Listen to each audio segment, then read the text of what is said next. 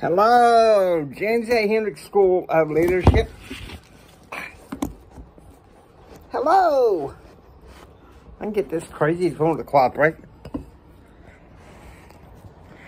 For my high IQ friends, we've made it through another week of Let's Go Brandon Leadership. What it means, where we've been. So I just want to do this little chant here to send you guys off. Uh, we'll start picking things up in January. Not talking about politics at first, and then, of course, the 13th, picking it back up hot and heavy.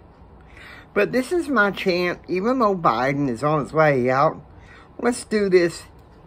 Guys, let's make this hit boys for the American dream. Go Brandon. Go Brandon. Go Brandon. Go Brandon. Go Brandon. Go Brandon.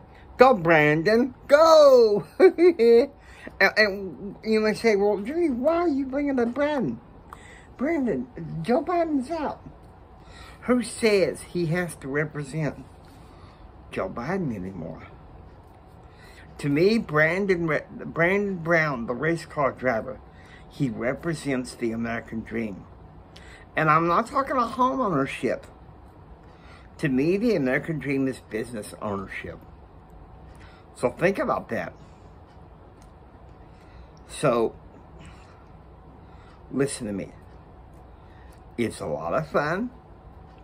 It's a lot of song and dance. You've learned a lot.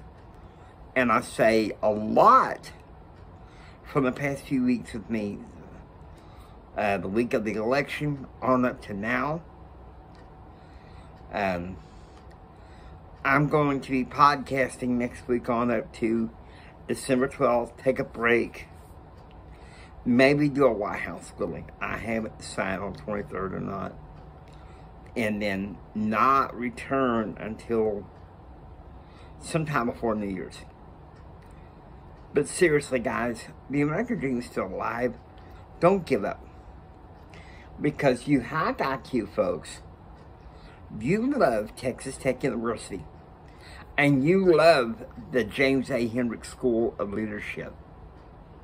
So at the same time, Wreck 'Em Tech and go Brandon, go Brandon, go Brandon, go Brandon, go Brandon, go Brandon, go Brandon, go! I love you guys. I hope you are going to have blessed holidays. I'll be back with my audio podcast beginning next week. Hopefully I'll be a lot better off uh, physically. Um, allergies going, going crazy. Take care. God bless you.